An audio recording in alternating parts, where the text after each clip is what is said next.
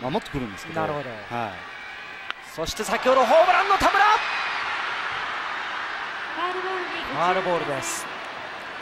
田村のホームランから一気に流れを作ってきたホークス同点にまで追いつきました。先ほどは田村のスリーランホームラン。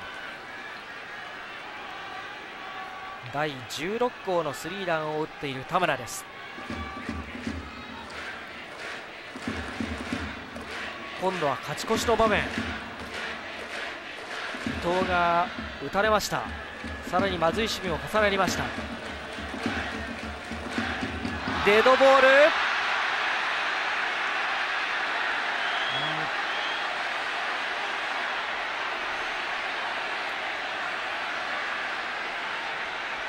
ちょっと両軍あベンチからコーチ陣監督選手がちょっと出てまいりましたが特に田村は、まあ、大きく叫んだだけで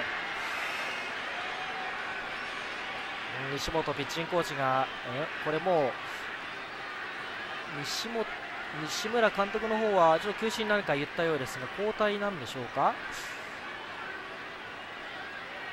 交代ではないでしょうね、えー、いやそれにしてもロッテがすと誤算というか伊藤で5回の表流れを切る。